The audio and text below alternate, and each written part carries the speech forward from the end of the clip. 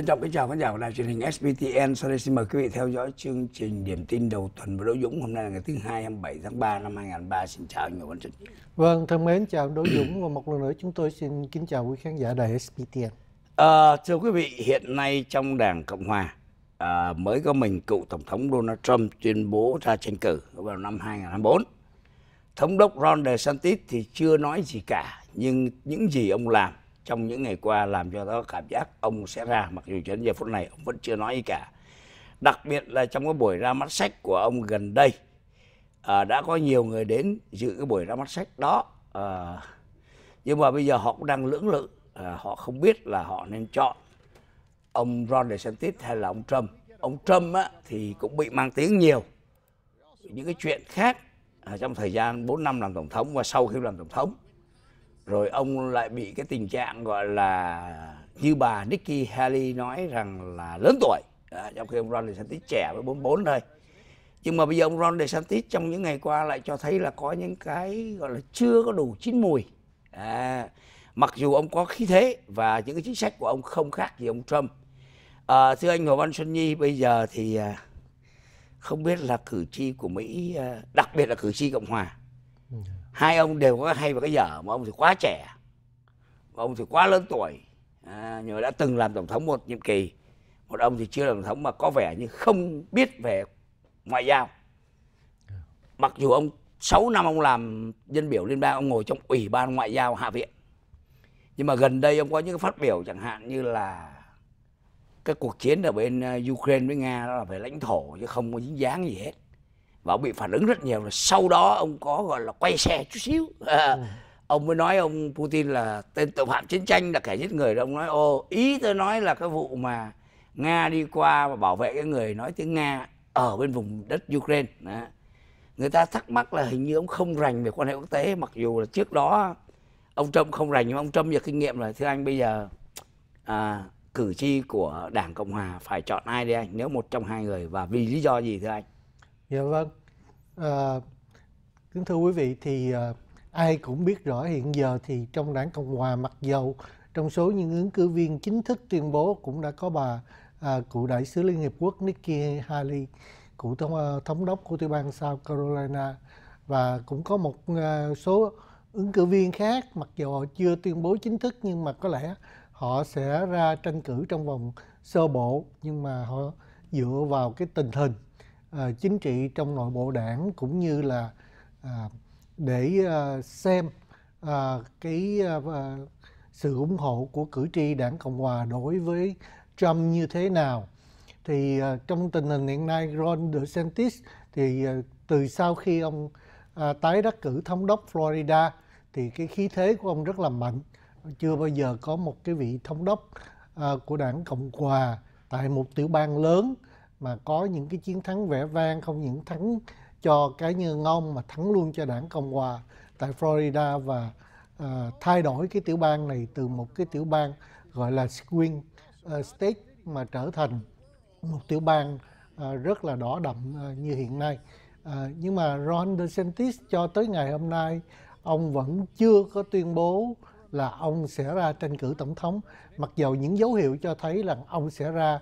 và sự việc mà Donald Trump step up ờ, nghĩa là gia tăng những cái nỗ lực tấn công vào Ron DeSantis cho thấy rằng cái đối thủ chính của Donald Trump sẽ là ông Ron DeSantis. Nhưng mà liệu rằng cái ờ, cái tactic của Ron DeSantis nhiều người cho rằng và chính những cái người cố vấn thân cận của ông ờ, thống đốc này cũng cho biết rằng à, ông delay cái uh, lời tuyên bố là vì ông muốn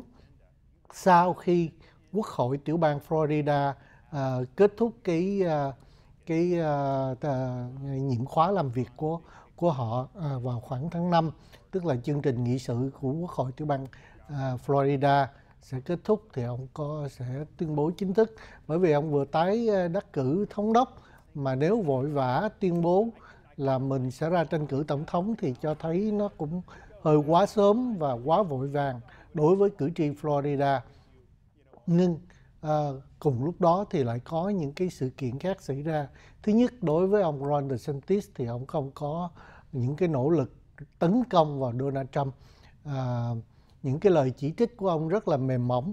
và à, trong một cái cuộc tranh à, cử vòng sơ bộ có thể nói sẽ là rất thư hùng à, giữa các ứng cử viên. Thì đối với Donald Trump rất là cứng cựa mà tấn công quá mềm quá nhẹ như, như vậy nó sẽ không có lợi. Nhưng mà trong trường hợp Ron DeSantis thì ông uh, gặp những khó khăn là nếu tấn công quá mạnh Donald Trump thì sẽ đụng vào cái khối cử tri uh, lực lượng uh, đang ủng hộ Donald Trump. Mà Ron DeSantis uh, cần phải làm thế nào để lấy được những cái lá phiếu cử tri của Donald Trump? À, là một cái vấn đề rất là khó. Hiện giờ ông đang đi giữa một cái à, lằn ranh với mong manh là giữa những cái khối cử tri bảo thủ cực đoan ủng hộ Donald Trump từ trước tới nay và khối cử tri gọi là establishment những người cử tri cộng hòa à, đã lâu năm à, thành phần mà không ưa Trump cho lắm. Những người cử tri cộng hòa họ ủng hộ đảng cộng hòa nhưng mà họ không thích Trump. Thì cái à, đứng giữa cái làn ranh của hai khối cử tri này nó khiến cho ông Ron DeSantis không có những cái lời uh, những cái cuộc tấn công mạnh mẽ vào Donald Trump mà cũng uh, cho thấy ông có vẻ đứng giữa hai hàng. Nhưng mà đó là cái khó của Donald của Ron DeSantis uh, hiện tại. Và thêm nữa thì những cái ngày gần đây thì uh, những cái cuộc thăm dò cho thấy điểm của ông Ron DeSantis cũng bị uh, rơi cũng uh, rớt xuống uh, so với uh, Donald Trump. Uh, và những cái uh, chuyện xảy ra mới đây cái vấn đề mà cái uh, tin rằng Trump sẽ bị uh, truy tố kết tội thì uh, nó cũng có lợi cho Trump nhiều hơn là cho ông Ron DeSantis. Và nó ép buộc ông Ron DeSantis phải cùng với những cái nhà lãnh đạo Cộng hòa vì để vuốt ve cử tri của khối bảo thủ đảng Cộng hòa mà họ phải lên tiếng uh, uh, ủng hộ Trump tấn công uh, À, công tố viên của tại New York và tìm cách bảo vệ cho Trump. Thì đây là một cái cơ hội một cái chiến lược rất là tốt cho Trump. Trump dùng cái cơ hội này cũng như đã bao nhiêu lần trong quá khứ mỗi lần có những cái cuộc điều tra những cái chuyện mà nói rằng sẽ uh, gây khó khăn về mặt pháp luật cho Trump ông ta đã dùng những cái cơ hội này để bảo vệ chính mình trong cái vấn đề chính trị đối với cử tri đảng cộng hòa. Rằng ông kích thích cử tri đảng cộng hòa ủng hộ mạnh hơn và nhiều người cho rằng nếu mà uh, Trump có bị indicted, uh, indicted uh, thật đi nữa thì nó sẽ có lợi cho ông uh, trong cái cuộc ít nhất trong cái cuộc bầu cử sơ bộ này. Uh, chúng tôi không biết rằng vào năm 2024 nếu bị indict thì ông sẽ như thế nào nhưng mà nếu ông bị indict trong cái vòng sơ bộ này thì nó sẽ giúp cái khối cử tri của đảng Cộng hòa đi ra ủng hộ mạnh nhiều hơn. Và đó là cái bất lợi Ron DeSantis. Và cũng như anh Đỗ Dũng có nói thì một vài cái lời tuyên bố của ông Ron DeSantis gần đây, nó cũng cho thấy ông hơi yếu về cái à, mặt chính trị à, quốc tế, về chính trị quốc gia. Và có nhiều người à, đặt câu hỏi rằng ông vị thống đốc trẻ này có đủ khả năng để bước lên cái khán đài cái ờ, chính trường ở cấp quốc gia chưa? Ông rất là popular tại uh, tiểu bang Florida. Uh, quốc hội tại tiểu bang Florida này đứng sau lưng ông và trong tuần qua quốc hội Florida đã thông qua tất cả những cái dự luật mà ông Ron DeSantis muốn thông qua sớm để ông có thể có thời gian chuẩn bị ra tranh cử tổng thống và họ đã làm cho ông. Uh, có thể nói là cái uh, cử tri Florida cũng như quốc hội và giới chính trị Florida đứng sau lưng ông Ron DeSantis mặc dầu Trump cũng là một cư dân chính thức là một cư dân của Florida hiện tại. Nhưng mà đây là một cái uh, uh, sự thử thách lớn. Và nếu ông Ron DeSantis không có chiêu mộ những cái người quân sư cố vấn hàng đầu trong hàng ngũ uh, chính trị của đảng Cộng hòa thì ông sẽ có thể là sẽ phải thua xa uh, Donald Trump mặc dù Donald Trump có nhiều cái khó khăn về pháp luật là bởi vì trở lại bài học năm 2016 à, ờ, Trump nhảy vào cuộc tranh cử tổng thống những ứng cử viên của ờ, đảng Cộng hòa những người lúc đó là chính trị gia có bề dày nhưng mà họ đã không có trực tiếp tấn công vào Donald Trump hoặc họ gọi là à, họ không muốn động đến cái khối cử tri mà à, bảo thủ nên họ né không tránh và cho rằng Trump không đủ ờ, ờ, khả năng để chiến thắng họ ờ, coi thường Trump lúc đó. Thì họ tấn công rất mềm dẻo vào Donald Trump và điều đó đã khiến cho đến khi mà Trump vùng lên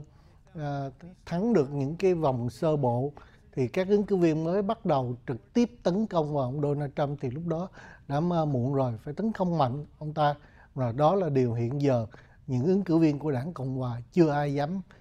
làm vì tấn công mạnh ông ta lại có thể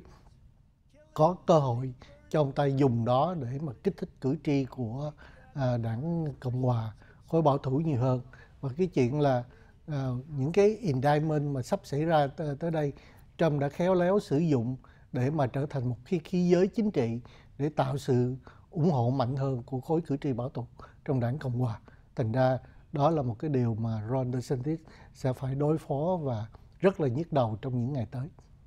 Vâng, và xin quý vị đừng rời màn hình FPTN, chúng tôi sẽ trở lại chương trình sau ít phút thông tin thương mại.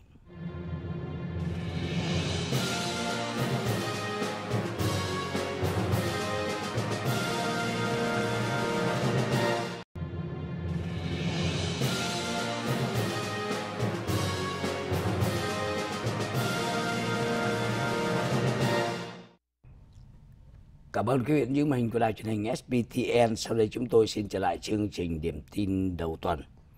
Thưa quý vị, mới đây Thượng nghị sĩ Elizabeth Warren của Đảng Dân Chủ tiểu bang Massachusetts có trả lời trên chương trình Meet the Press của đài truyền hình NBC.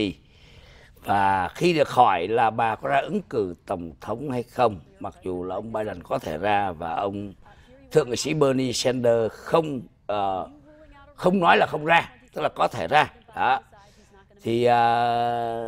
phóng viên NBC mới hỏi bà Elizabeth uh, Warren là bà có ra ứng cử tổng thống không? Thì bà không trả lời câu đó. Bà nói là tôi sẽ ra tranh cử nhiệm kỳ thứ ba vào năm 2024 tức là bà 2024 bà hết hai nhiệm kỳ với nhiệm kỳ 6 năm. Thế người phóng viên đã hỏi lại một lần nữa. À, thế thì uh, giờ bà có ra không? Bà trả lời nhanh không? Thì bà có nói ông Biden sẽ ra. Còn bây giờ bà có hỏi cỡ nào nói tôi cũng chỉ trả lời ông Biden sẽ ra và tôi ra tái tranh cử uh, thống đốc năm 2024 à, anh nghĩ sao về cái không những bà Elizabeth Warren mà tôi thấy hầu như tất cả các chính trị gia nào của Mỹ ở cái tầm mà cỡ thống đốc hoặc là thượng nghị sĩ chứ còn uh, dân biểu thì ít lắm.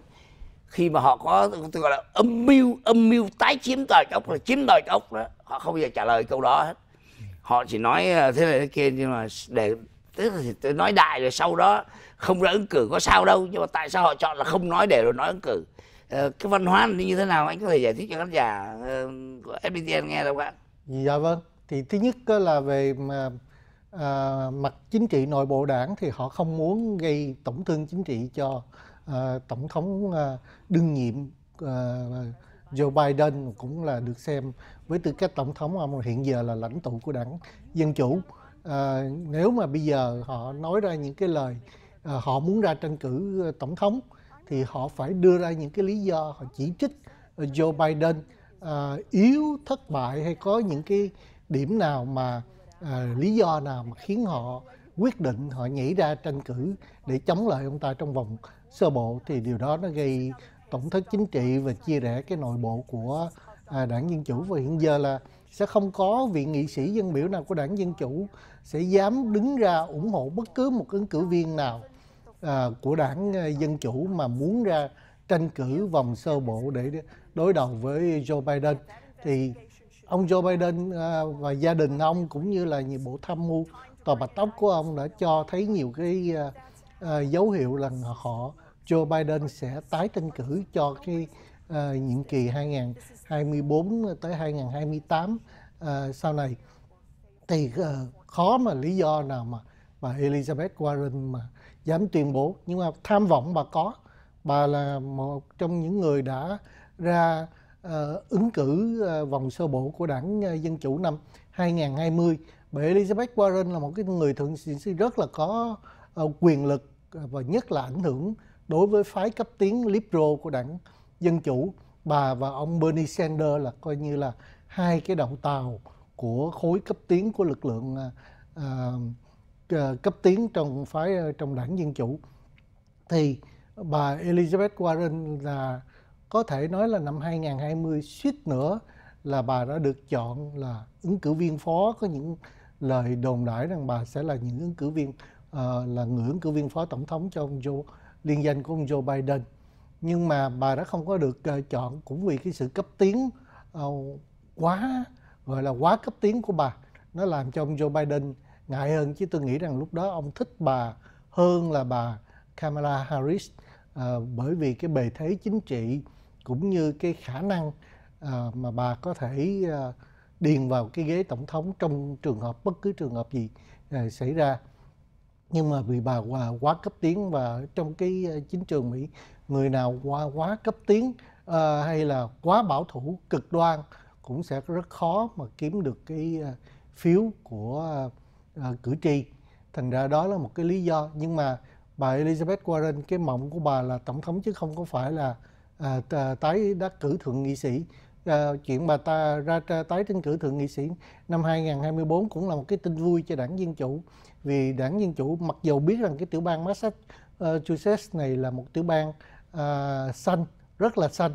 uh, thì uh, ghế thượng nghị sĩ đó an toàn nhưng nếu bà không ra mà bỏ ghế trống thì vẫn là cơ hội cho đảng Cộng hòa đưa một người ra không cần phải bảo thủ có khuynh hướng trung dung central để mà tranh cử cái ghế này thì à, đảng à, dân chủ cũng phải vất vả cũng phải chi rất nhiều tiền trong khi bà à, à, Elizabeth đã tại đó. Và đồng thời ngân quỹ của bà cũng còn rất nhiều tiền bà có khả năng gây quỹ rất là mạnh thành ra bà ra thì đảng dân chủ không có cần uh, lo lắng gì hơn. Nhưng mà điều này nó cũng cho thấy là một cái điều là uh, khả năng ông Joe Biden sẽ tái tranh cử uh, nhiều hơn và đồng thời ông sẽ giữ lại bà Kamala Harris. Bởi vì nếu mà uh, uh, trong nội bộ họ nhìn thấy bà Harris có thể bị thay thế thì bà uh, Elizabeth Warren sẽ uh, chuẩn bị sẽ vận động cho chính mình sẽ là người được chọn cái trong cái sự thay thế đó. Nhưng mà đây là một cái uh, điều một cái dấu hiệu cho thấy sẽ vẫn là Biden và Harris ra tái tranh cử năm 2024 bà Elizabeth Warren thì làm đã hai nhiệm kỳ à, và bà đã đánh bại một cái người đương kim thượng nghị sĩ của đảng Cộng hòa lúc đó là ông Scott Brown năm 2012 để trở thành thượng nghị sĩ của tiểu bang Massachusetts. Và bà là người mà đã phái cấp tiến của đảng uh, Dân Chủ muốn ra tranh cử tổng thống. Bên cạnh ông Bernie Sanders. Sau ông Bernie Sanders thì bà là người phái cấp tiến họ ủng hộ. Phái cấp tiến của đảng dân chủ không thích gì mấy. Uh, Joe Biden họ không có happy cho lắm với ông Joe Biden. Mặc dù uh, ờ, ông là một người của đảng dân chủ và ông cũng ủng hộ nhiều cái chương trình mà của bên cấp tiến họ đưa ra và mong muốn nhưng nó không hoàn toàn đúng như cái uh, những người bên cấp tiến họ ủng hộ nhất là cái nhóm progressive họ không hài lòng lắm với uh, Joe Biden. Thành ra nếu mà ông Joe Biden vì lý do gì tuyên bố không ra thì mọi nỗ lực họ sẽ dồn cho bà Elizabeth Warren hoặc ông Bernie Sanders. Nhưng mà nếu mà bà uh, Warren lựa chọn tranh cử cái ghế thượng nghị sĩ tái tranh cử ghế thượng nghị sĩ của tiểu bang Massachusetts thì cái ờ, cơ hội bà nhắm vào tòa bạch ốc nó có lẽ sẽ ít hơn hoặc là có lẽ bà đã thấy cái cơ hội để trở thành ứng viên phó tổng thống thay thế bà Harris trong cái thiết kế của Joe Biden. Nó cũng à, không có mạnh không có nhiều. Thành ra nhưng mà đây là một cái người phụ nữ mặc dù bà đã 73 tuổi nhưng mà cái à, à, cơ hội của bà cũng sẽ còn ở nhắm vào ghế tòa bạch ốc nhóm cấp tiến thì họ mong bà trở thành phó tổng thống thì ở thành phó tổng thống thì nhắm vào cái tương lai năm 2028 nếu bà bà đang ở địa vị của một chức vụ uh, đương uh, kim phó tổng thống cho Joe Biden thì năm 2028 họ uh, chắc chắn bà có cái cơ hội là ứng viên cho đảng Dân Chủ uh, tranh chức tổng thống uh, nhiều hơn bất cứ người nào. Nhưng mà nếu bà Harris bà à, ngồi lại cái ghế phó tổng thống thì có lẽ năm 2028 bà sẽ Harris sẽ là ở cái thế thượng phong hơn với tư cách là phó tổng thống. Thành ra à, nhưng mà đây cũng cho thấy rõ được một cái hình ảnh à, à, nội bộ chính trị của đảng Dân Chủ trong những ngày sắp tới thì nó sẽ tiếp tục là Biden và Harris và bà Warren thì chắc chắn à, không có gặp khó gì trong cái sự tái tranh cử của bà nó sẽ là một bước đi rất là dễ dàng bà sẽ tái đắc cử thượng nghị sĩ của tiểu bang này. Ờ, liệu bà có thay đổi với phút chót nếu mà ông Biden không ra tranh cử? Bà có ra tranh cử thực ra đó là luật của tiểu bang Massachusetts không có cấm bà thì đúng vừa rồi làm uh, tranh cử thượng nghị sĩ vừa tranh cử vâng. uh, uh, tổng thống. Nhưng giống mà, như ông John Kerry hồi xưa nhá dạ, đúng không? Thành ra nó cũng uh, bà nếu mà